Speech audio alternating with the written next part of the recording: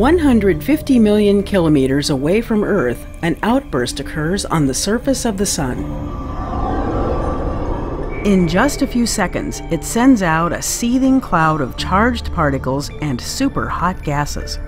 This massive space weather front travels on the solar wind, a stream of material that constantly blows away from the Sun when the storm front arrives at Earth, it energizes electrons and ions in our upper atmosphere. Out in the countryside near Boston, Massachusetts, scientists at MIT's Haystack Observatory study the geomagnetic storms triggered by solar outbursts. They're working to understand the effects on Earth's upper atmosphere when the sun stirs up a little space weather. Our planet's atmosphere is a blanket of air that is thick near the surface and gets thinner the higher up you go. We live and travel through the troposphere, the lowest part.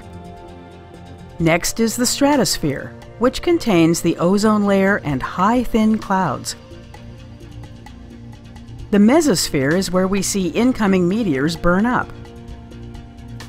Above that is the ionosphere, an electrified region where space weather has its greatest effect. Haystack researchers analyze how the ionosphere is affected by the solar wind.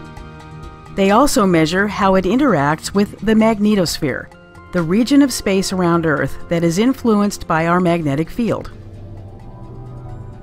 The Sun is the source of all the space weather that buffets the ionosphere and magnetosphere.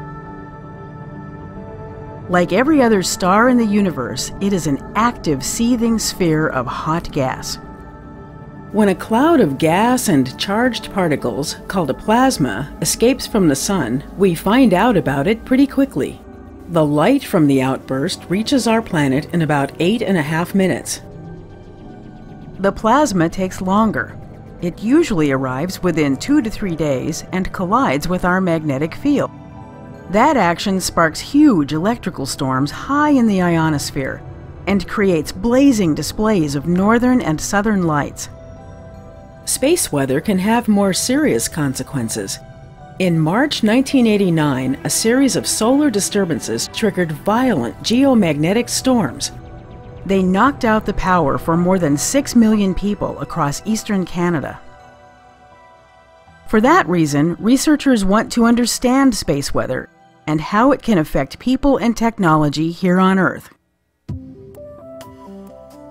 Dr. Philip Erickson is part of Haystack's team of space weather researchers.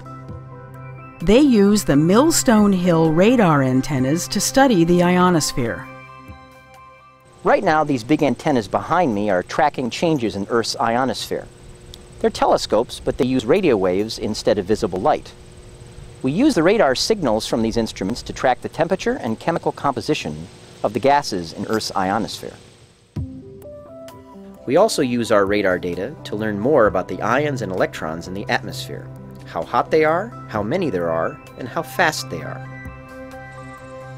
We also measure the effects of the solar wind as it slams into the ionosphere.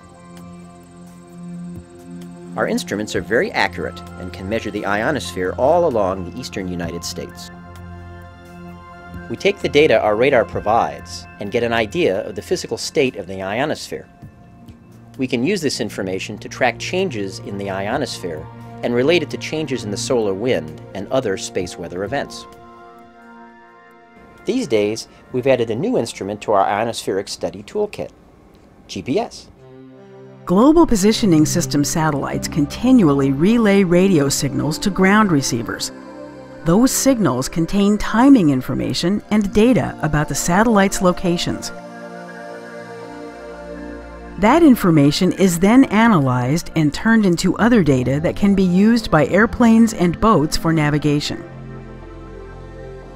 Automobile GPS systems also use the same information to help drivers find their destinations. Banks and financial institutions depend on precise GPS signals to help them transfer money on time. And every cellular telephone network relies on GPS timing data. So, how can space weather affect all of these systems? Solar storm fronts rapidly push clouds of ions and electrons into small regions of the ionosphere. This interferes with broadcast signals from communication satellites and radio signals from the GPS satellite network. Solar storms can also stir up strong electrical currents that could overload power grids and shut off the lights for millions of people. If communication networks and power companies have enough advance warning, they can take steps to protect their systems until the storm is over. During such solar storms, ships and airplanes can switch to other navigation methods until reliable GPS signals are available.